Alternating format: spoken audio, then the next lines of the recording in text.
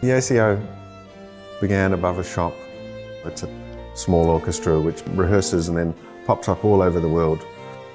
The dream was always to have a new permanent home. And here we are.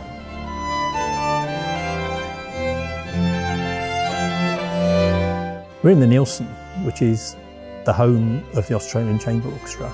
I took some time to go through some of our old, old correspondence and uh, with, with the orchestra talking about what we thought in words they wanted to achieve musically. Warmth uh, and clarity and grit was a word that came up quite a bit. And the phrase that stuck in my mind was, uh, it's a space that wants you to play in it. So it's a space sort of inviting.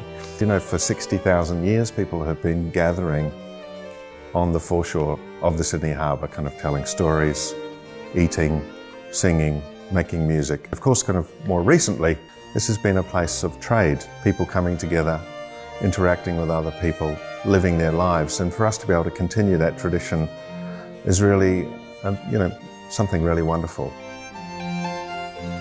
We began to first kind of look at the pier and look at the volumes and kind of draw pictures on a number of different napkins and restaurants. It became clear quite quickly that, that we had to kind of moderate our expectations in terms of the volume of the space and in terms of the capacity of the space, um, which was good actually because it made us think about a much more modern, much more flexible space. It's designed to be uh, perfect for chamber music. It's also designed to be able to be used for so many other sorts or sorts of events, performances. Uh, one of the big features of this space, it has uh, very variable acoustic. It has got this magical system called active architecture, uh, which digitally effectively moves the walls out. And that gives a much bigger sense of space. We get more reverberance and it sounds like the music is in a much bigger room. There's a few little idiosyncrasies that we, we put in. Part of the acoustic design was to try and provide what you might call quasi-random diffusion. There's um, various small holes on the wall which are effectively braille and there's various quotes from Beethoven and things written into that braille if, if, for those who are able to read the braille. And of course you wouldn't know it's there if you didn't if we didn't tell you, but it was quite nice to be able to sneak in these little features that do the job, they do the acoustic job, but they do that in a, in a slightly different and unusual way. I do recall the first time the full orchestra came in.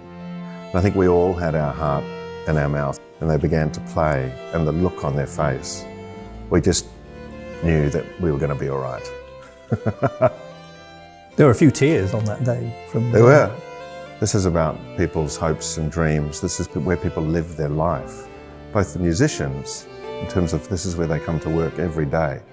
But for the audience, they come here for very special experiences. Given all of the constraints and all of the compromises, to actually reach a place where the emotions and the practicalities can be brought together.